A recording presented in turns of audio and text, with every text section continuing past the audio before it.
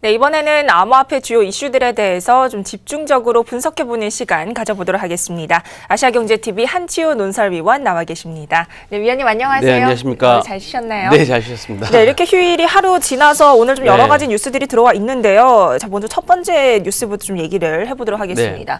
이 암호화폐 실명 전환, 어, 벌써 100일이 네, 다 됐다고 그렇죠. 해요. 네. 근데 그래도 아직도 좀 실명 전환율이 낮다라는 보도가 나왔는데 좀이 얘기를 저희가 한 한 달째 얘기를 했었던 것 같은데 아직도 그렇죠. 예, 한 달 전쯤에 저희가 이런 뉴스가 나왔었죠. 네. 지금 그 내일 9일이면 암호화폐 실명 전환 그 시행된 지 100일째 되는 날이랍니다. 음. 암, 암호화폐 실명 거래 실시가 100일인데 실명 확인한 가상 계좌만 거래가 가능하도록 신규 계좌만 하도록 해라고 하는 게 이제 정부 지침이었죠. 그렇죠. 사실 가장 중요한 게 암호화폐 정착을 위해서는 음. 실명 거래가 가장 중요한 핵심인 사항이 있기 때문에 지금 뭐 아무리 익명성이 중요하고 탈중앙화라고 하더라도 여러 가지 그 잘못 이용될 수 있는 부분 때문에 현재 세계 모든 정, 나라들이 그 암호화폐 정착을 위해서는 현재 그 익명성이 너무 보장되면 안 된다는 게 현재인데 네. 현재 실명 그 전환율이 한 30에서 35% 수준뿐이 안 된다고 합니다. 전체적으로.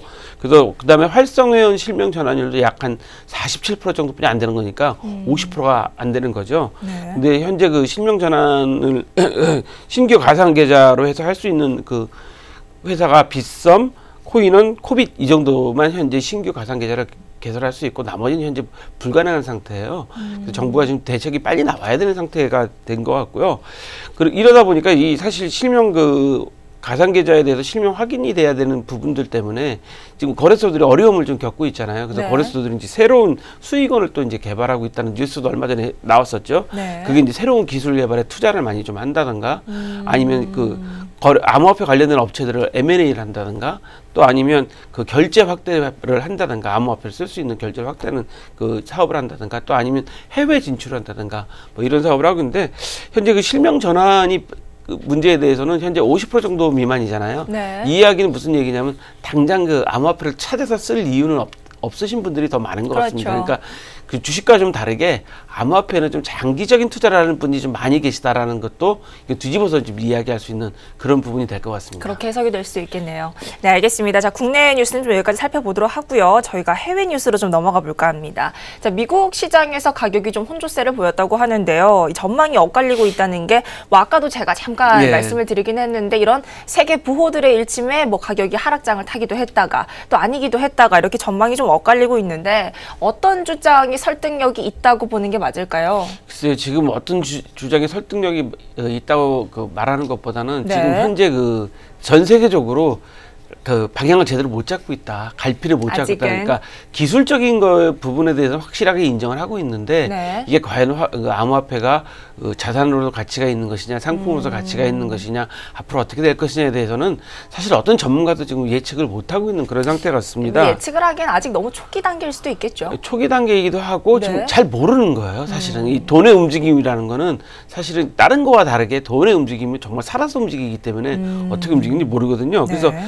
유명한 그 암호화폐 애널리스트 콜라스라는 사람은 비트코인 투자에는 좀 신중해야 된다. 음. 이제 투자하기가 쉽고 있다라고 이렇게 현재 그 이야기를 했다고 합니다. 지난 주말에 음. 그러다 보니까 이제 그쪽 부분에서는 또 이제 암호화폐 열기가 잠깐 그 쉬- 쉬고 있는 거죠. 네. 열기가. 그다음에 이제 암호화폐 투자회사의 대표인 브라이언 켈리라는 사람은 아, 비트코인 랠리를 주목해야 된다. 랠리가 계속 될 것이다. 아. 그리고 그 거기에는 세, 세, 삼대 호재가 있다. 세 음. 가지 호재 현상이 있는데 그삼대 호재가 뭐냐? 이야기한 게 월가의 그 대형은행이 현재 진입했다. 음, 그 다음에 두 번째로는 규제의 불확실성이 해소되고 있다. 네. 그다음에 세 번째로는 대, 대형 행사에 전부 다 관심이 쏠리고 있다라는 거죠. 이 대형 행사라는 게 아마 14일 날 그 블록체인 Week라고 뉴- 블록체인 Week 뉴욕 City라는 행사를 아마 뉴욕에서 대단하게 크게 네. 벌리는 모양인데 화제가 되고 이, 있죠. 예, 이거 가지고 이제 많은 투자자들의 이제 관심을 모으려는 거다 보니까 음. 그 투자자들의 관심이 아무래도 이 행사와 연관돼서 관심이 많이 가져질 수 있고요.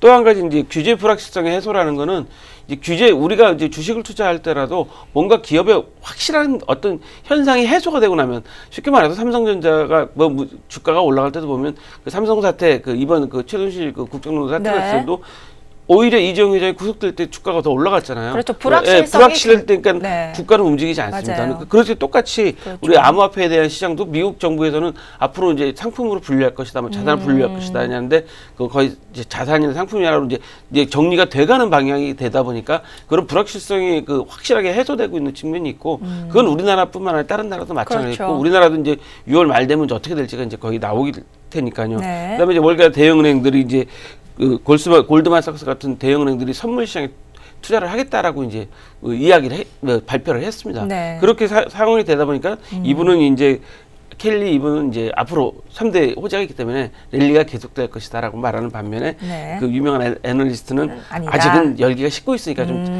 잠깐 좀 진정해 봐라. 네. 어, 뭐 이렇게 이야기하는 상황이죠. 뭐 이렇게 이렇게 암호화폐 시장에 대한 전망이 엇갈리고 있는 가운데 또 미국에서는 비트코인 자체에 대한 논쟁도 상당히 또 불이 붙었다고요. 아직도 꺼지지가 않은 것 같아요. 미국에서 불은 아직 영원히 꺼지지 않는 것 네. 같습니다. 미국에 산불 나면 한 번 오래 가듯이 그렇죠. 그런것 같은데요. 이제 골드만 투자 삭스의 그 투자가 결정된 게 계기가 됐는데 음, 아까도 잠깐 말씀하셨죠. 네, 유명한 워런 버핏이 이런 표현을 썼어요. 쥐약의 제곱만큼 위험하다. 이게 우리가 이제 굉장히 한국식 한국식. 표현이 아니라 이제 네. 서양식 표현이어서 그런데 쥐약의 제곱만큼이란 거는 두 배가 아니라 제곱이니까 훨씬 그렇죠. 더큰 적이잖아요. 네. 그래서 현재 위험하다는 걸 이제 버- 버핏은 음. 얘기하고 사실 워런 버핏은 금년 초에도 암호화폐는 그 현재 그 거품이라고 계속 공격을 했어요. 사기다라고까지 말씀하셨죠. 그렇게 이야기를 했어요. 네. 거기다가 또 이제 그 애플의 창업자는 그런 얘기까지 했죠. 그 아- 암호화폐에 대해서는 아직은 좀 불확실하다고 음. 이야기를 했습니다. 그러다 보니까 이런 그 불확실성이 서로 이제 막 서로 간에 주장이 막 부딪히고 있는 상황인데 이 그러다 보니까 이제 많은 네티즌들이 야 워렌 버핏은 그럼 너는 좋아하는 것만 하느냐 이렇게 질문했더니 하, 이런 얘기를 했죠. 내가 아마존에 투자하자는 거는 정말 실수고 판단 실수다. 음. 네. 판단 착오다라는 이야기를 했어요.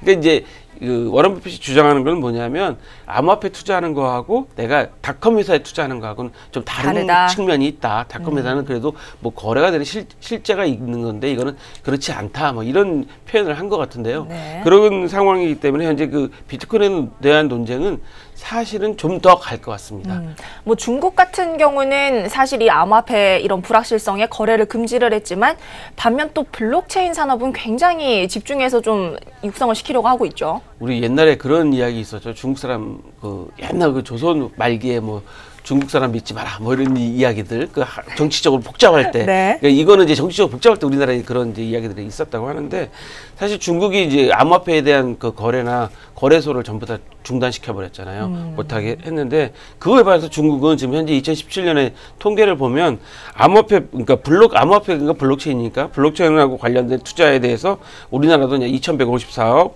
전년 대비로 약 170억 170% 정도 증가됐다고 음. 합니다. 네. 금융 분야에 66% 투자했다고 하고요. 네, 알겠습니다. 오늘도 이렇게 해서 국내외 이슈들에 대해서 한치호 논설위원과 함께 얘기를 나눠봤습니다.